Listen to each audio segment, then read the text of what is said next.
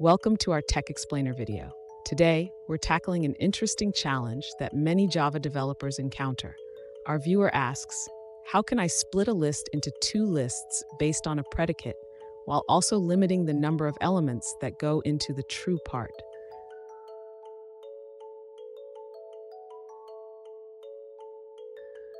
Let's break down the question.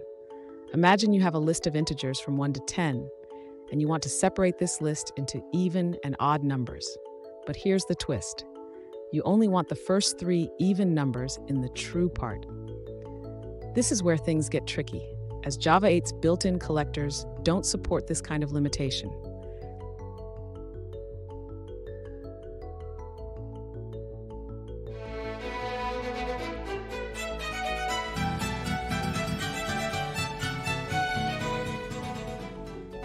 Welcome back to another technical video. Today I'll be going through your question, answering it, and hopefully finding that solution that you're looking for. Guys, remember stay just a little bit crazy like me, and hopefully you work through that resolution. Let's continue on. In this video, we will learn how to split a list into two parts based on a predicate, while also limiting the number of elements in the true part. Let's start with our example list.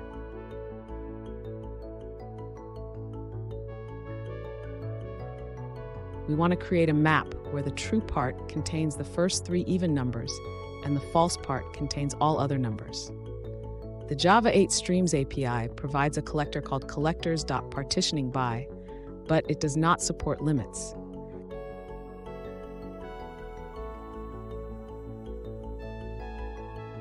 To achieve this, we can implement our own method called partitioning by with limit. This method will take a predicate, a source list, and a limit as parameters.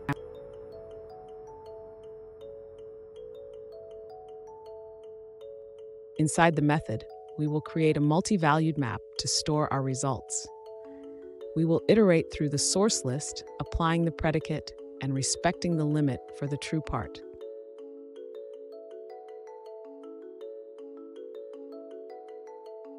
Finally, we will return the result map containing both the true and false parts. This implementation allows us to effectively partition the list with a limit on the true elements.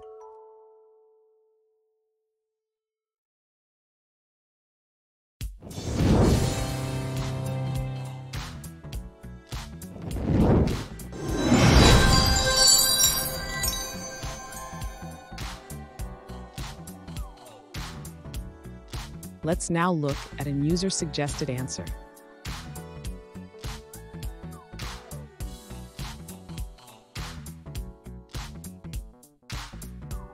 The task of partitioning with a limit requires a stateful predicate, making it tricky with streams. A simple loop can be used to achieve this.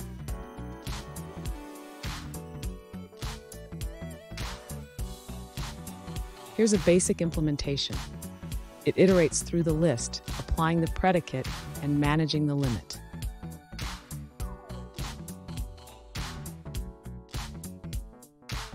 For a slight performance boost, you can use an iterator to avoid rechecking the limit after reaching it.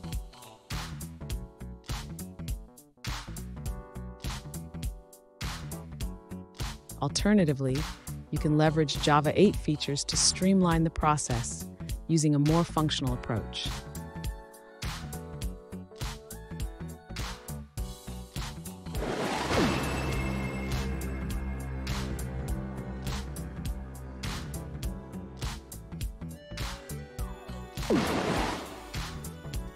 Let's now look at another user-suggested answer.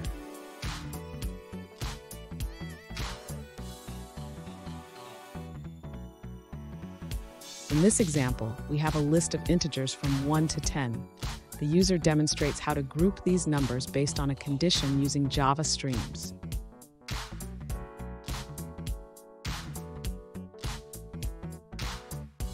The grouping condition checks if a number is even and limits the count of even numbers to 3. This is done using a custom function.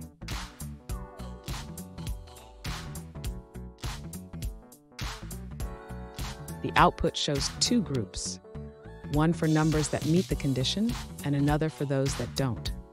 The result is a map with true and false keys.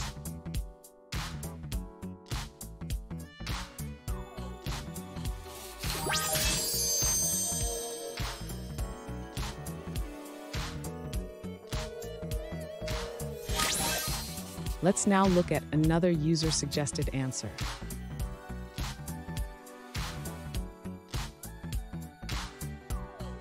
To partition a list with a limit, you can use the partitioning by collector along with a custom predicate.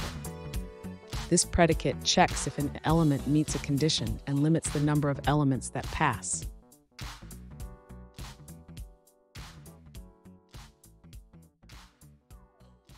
The custom predicate, called with limit takes a condition and a limit.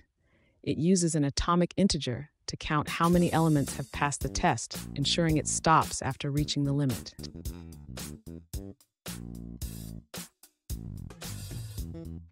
And that's it, guys. I hope the video has helped find you to that resolution and you're able to get through your problem. If you did, guys, please hit subscribe. I really appreciate it. It does help me out. And until next time, have a good one.